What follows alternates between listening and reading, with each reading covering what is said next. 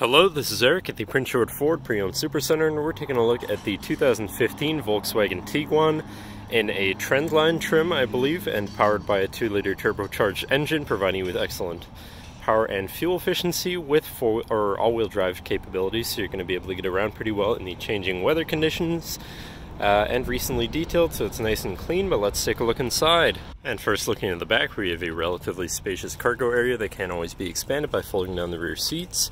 Do also have a 12 volt power outlet right there, and underneath your nice rubber cargo mat, you have your uh, spare tire compartment with uh, room around it for plenty of other equipment that you need in there. And then looking at the back seat, we have seating for three comfortably with a nice full leather interior. Uh, do also have fold-out armrests with two cup holders, also giving you easy access to your cargo area if need be.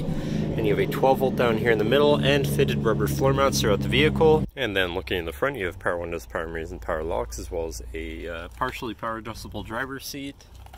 And now sitting in the vehicle with it running, you can see it's sitting at uh, 101,130 kilometers. And moving down to the steering wheel, on the right hand side you have your uh, buttons to cycle through your vehicle information such as your fuel economy, uh, distance to empty, your trip mileage, your average speed, digital speedometer, speed warning, travel time, and fuel consumption again. You can also cycle through your to your audio controls, phone controls, and settings for your screen and some other features around your vehicle. Then on the left side you have your hands-free phone and radio controls and on the on the signal stalk you have your cruise controls.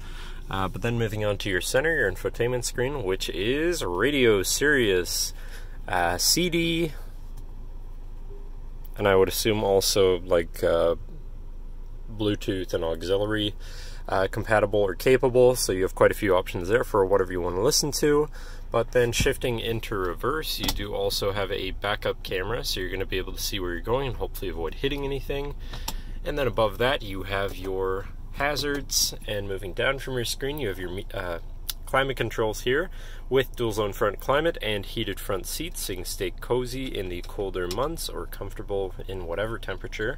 And then below that you have a cubby here for storage, another cubby here for storage, your traction control shut off, and then you have your main shifter here with select shift so you can manually shift to your gears. And you have your parking brake, your two cup holders, it can be hidden away, little cubby here, and your center compartment slash armrest, which is pretty spacious inside with uh, 12 volt, your auxiliary, and your sort of modular plug here. Currently it has the uh, lightning connector for an iPhone, but I believe there is a bunch of different ones for whatever you need. And you can raise this to different heights for different uh, heights of armrest there. But then, last but not least, you do have a panoramic moonroof up top so you can let the sunshine on a nice sunny day. But that should cover our look at the interior. So now if you're interested, feel free to give us a call at 250-563-8111 or just come on down to the dealership and have a look for yourself and have a nice day.